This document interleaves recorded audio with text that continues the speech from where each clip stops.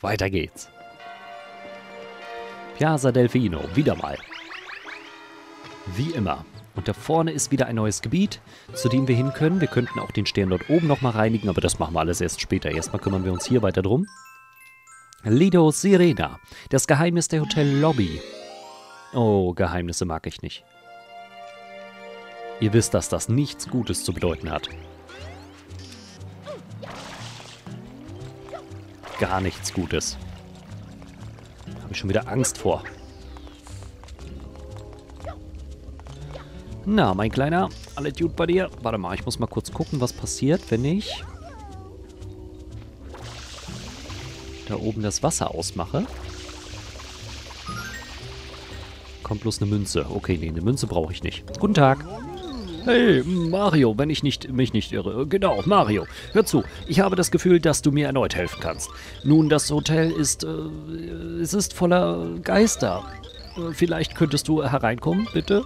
Ich weiß, dass du ein Wunderheiler bist. Keine Bescheidenheit. Okay. Oh, Hallöchen, Geister. Sie irgendwie mit Wasser abzuspritzen bringt nicht viel. Manchmal verschwinden sie, manchmal nicht. Es interessiert sie aber auch nicht. Okay. Jetzt ist die Frage, was mit, wir mit diesen Geistern machen sollen. Hm, gute Frage. Nächste Frage. Wir haben hier eine Auswahl von Früchten. Das heißt, es hat irgendetwas mit Yoshi zu tun. Heißt, wir suchen jetzt den Yoshi. Aber die Frage ist, wo sich der Yoshi befindet. Und wie wir zu ihm hinkommen. Wir haben hier verschiedene Toiletten. Okay, wir gehen mal nach oben. Vielleicht haben wir dort irgendwo ein Yoshi. Ach, nach oben geht's so gar nicht. Dann gucken wir mal im Klo.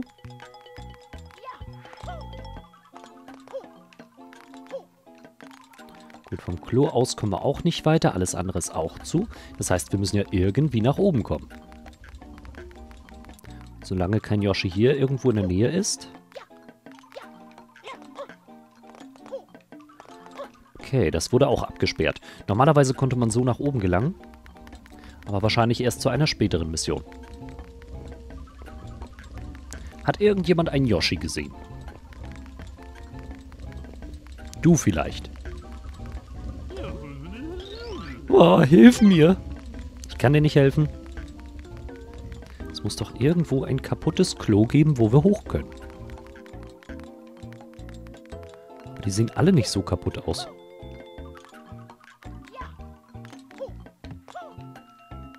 Nee, hier ist noch alles in Ordnung. Jetzt ist die Frage, wie wir weitermachen können. Irgendwie kam man doch nach oben. Hast du eine Ahnung? Ich sah mir die seltsame Öffnung oben am Totenpfahl an. Und plötzlich sind dort Geister aufgetaucht. Das war gruselig. Ja, ich würde da auch gerne hoch. Muss ich euch denn besprenkeln? Ah ja, wenn ich euch besprenkel, dann geht das.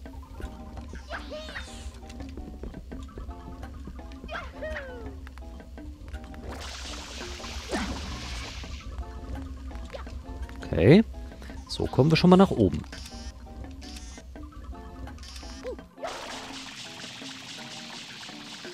sind wir schon mal hier. Das ist gut.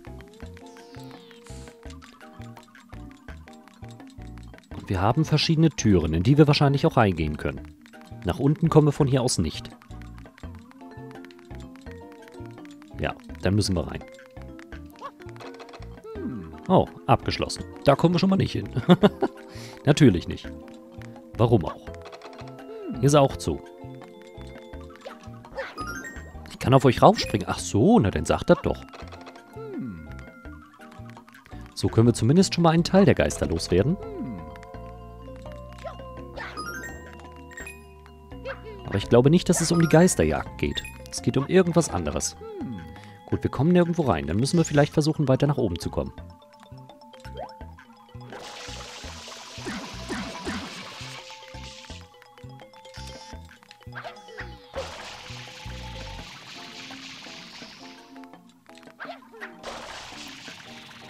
So ist gut. Ach, guck mal. Da haben wir doch die Antwort. ich hasse Geheimnisse.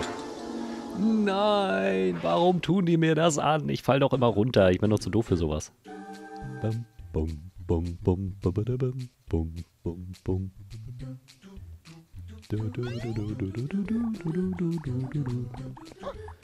Oh, ich habe vergessen, ich habe gar keine Düse. Uh. Okay, nach oben gekommen sind wir schon mal.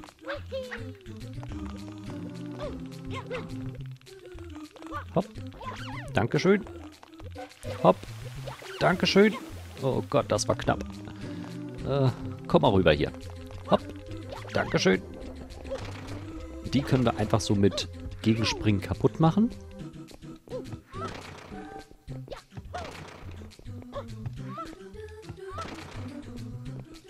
Okay.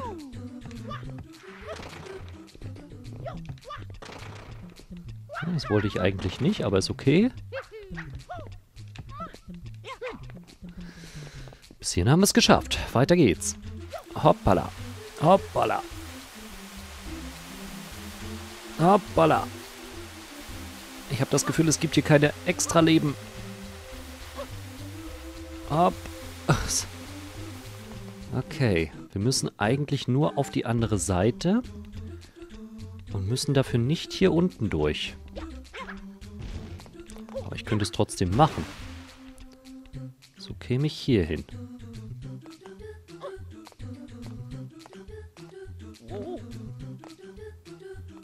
Hoppala. Okay, wenn es nur ums Rüberlaufen geht, dann geht's. Aber ich will nicht rüberlaufen. Ich will, glaube ich, rüberspringen. Springen scheint einfacher zu sein.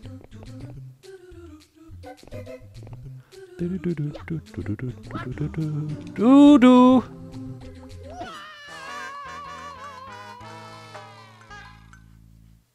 Wie war das? Ich sollte nochmal Leben sammeln vorher?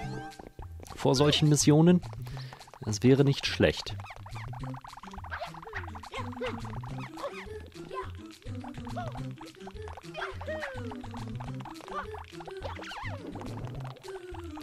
Her hier. So ist gut. Ah, geschafft.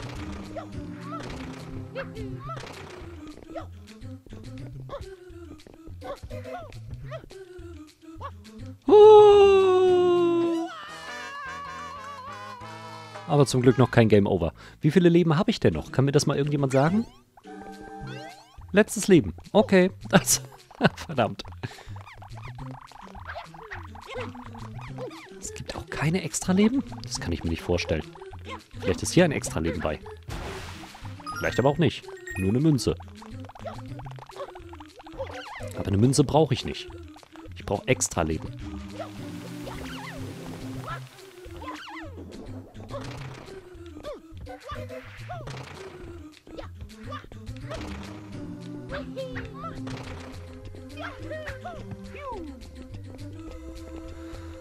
Okay.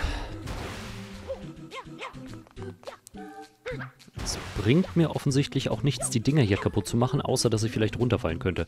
Ja. Was hat das denn zu bedeuten? Warum führt da ein Weg lang? Oh, bitte, da wird es wahrscheinlich rote Münzen geben.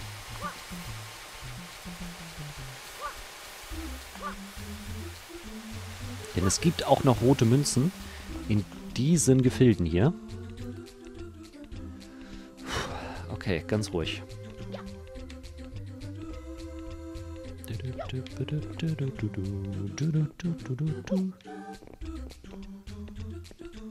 Muss schön in der Mitte bleiben.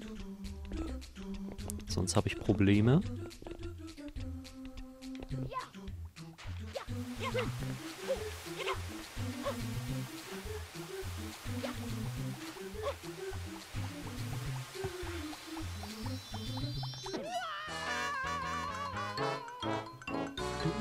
Du, du, du, du, es ist so gut gelaufen, aber der Sprungknopf hat nicht funktioniert, weswegen der gute Mario natürlich einfach nur runtergelaufen ist, statt zu springen. Ja gut, war zu erwarten. Vielleicht sollte ich wirklich mal ein paar Leben sammeln. Es gibt ja das ein oder andere, was wir hier kollektivieren können. Einfach bloß, damit wir es in solchen Leveln nicht ganz so schwer haben.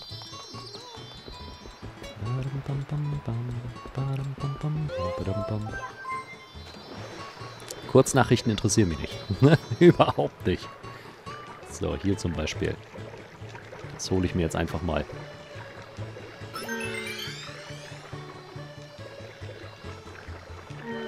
Gott. Das kann ich gebrauchen. Das ist gut. Das ist in Ordnung. Hier gibt es nichts. Keine blaue Münze oder so. Und ich möchte, bevor wir äh, mit dem Hotel weiter fortfahren... Quatsch. Ich will erstmal mit dem Hotel weiter fortfahren. So rum. Bevor wir irgendwo anders hingehen. Das ist mir wichtig. Dass wir zumindest noch das ein oder andere mehr haben und äh, uns dann gegebenenfalls um die Gebiete kümmern, die wir sowieso schon freigeschaltet haben, aber nie mehr benutzt.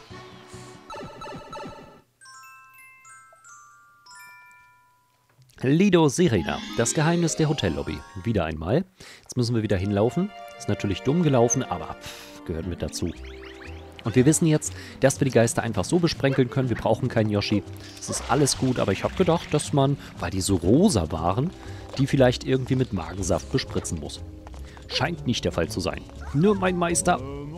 Ja, ja, ja, genau so ist das. Weil ich dich lieb hab, kannst du auch rein und die Geister kaputt machen. Danke. Quatsch, so.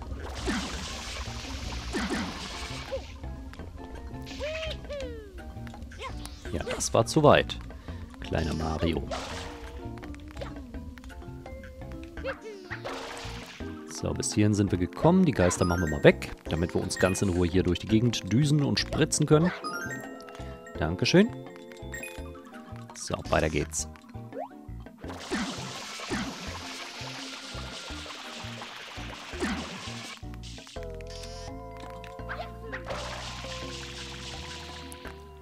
So ist gut. Perfekt. Und damit sind wir auch schon wieder dort, wo wir hinwollen. Guti. Diesmal schaffen wir es. Einfach bloß, weil wir gut sind. Mehr oder weniger.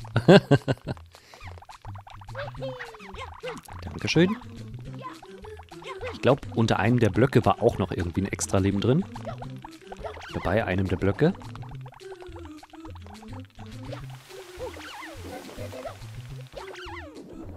So ist gut. Erstmal die ganzen Steine wegmachen hier.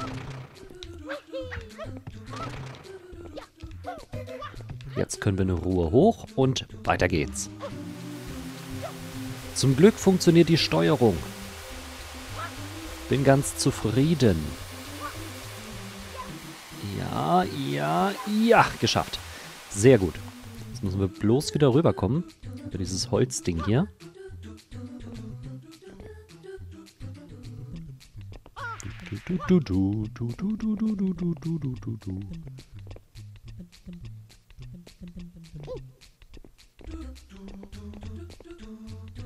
Und zack, geschafft. Solange wir das schaffen, bin ich immer schon ganz glücklich. Ha, siehst du? Ich sag doch, diesmal schaffen wir es.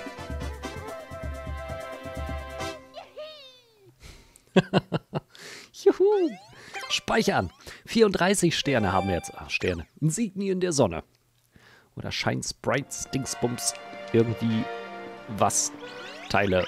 Ja, das, ihr wisst, was ich meine. Guti, das wäre geschafft. Jetzt kümmern wir uns um den großen Stern, der oben ist. Dafür brauchen wir diese Düse hier.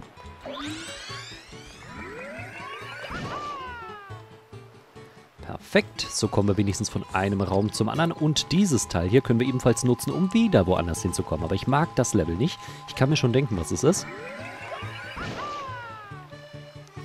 So ist gut, hier können wir uns wieder aufpumpen. Ah, da ist der Stern. Den müssen wir treffen.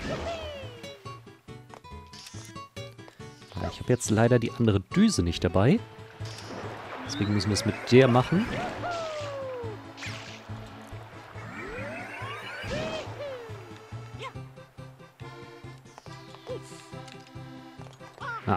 Nein! Ach Mensch, ich war doch schon oben. Dann machen wir es anders. So, dann stellen wir uns nämlich hier vorne mit hin. Müsste auch funktionieren. Oder so. Dann werde ich versuchen, vom Wasser aus dort hochzuspringen. Jo, hat geklappt. Dann dürfen wir jetzt den Stern hier drehen.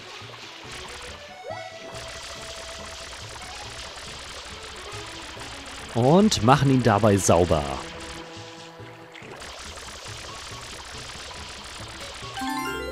Juhu! Jetzt müssen wir bloß noch ganz oben rauf. Und die Röhre dort oben, die mag ich auch nicht. Da weiß ich, wo ich hinkomme. In sozusagen ein Himmelsland.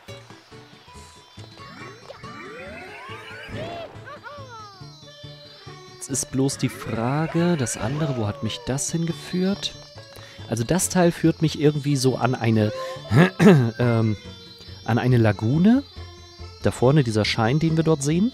Und dieses Teil, diese Röhre, die führt uns irgendwo in den Himmel. Keine Ahnung, wohin genau. Wohin genau?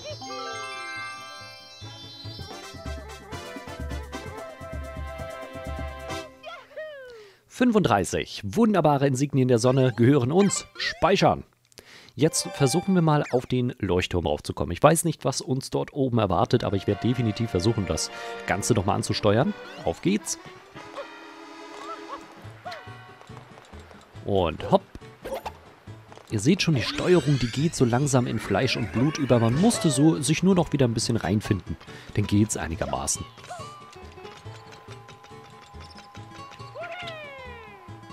Wehey.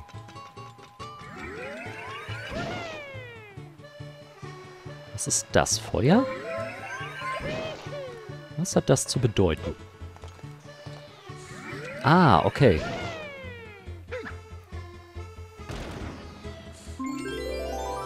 Das gibt einen weiteren, eine weitere Insignie der Sonne. Denn wenn man äh, hoch genug springt und dann aufstampft, hat man Feuer unterm Hintern. Und dann geht es richtig ab, dann kann man auch solche Blöcke kaputt machen. Dankeschön.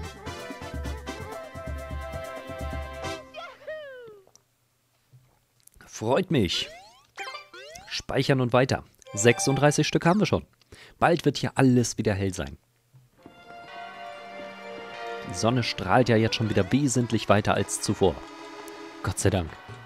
So, dann holen wir uns jetzt noch die blaue Münze, die vorne war. Und gucken mal, was es sonst noch gibt, wenn wir dort auf dem Wasser unterwegs sind.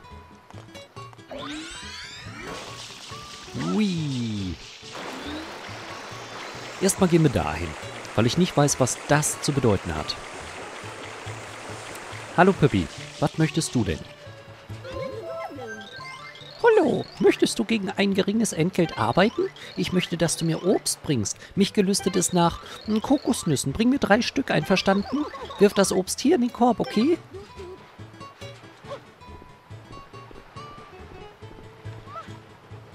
Na gut, das scheint jetzt nicht die Schwierigkeit zu sein.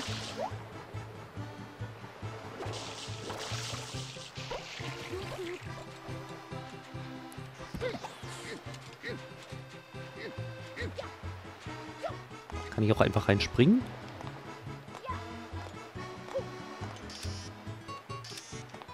Wie schmeiße ich das Ding denn? Ah ja, so. Einfach laufen, während ich äh, B drücke. Ansonsten wackelt er nur einmal, das bringt mir nichts.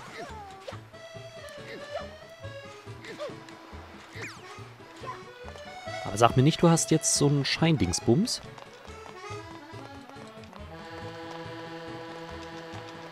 Warum geht das denn jetzt schon wieder nicht?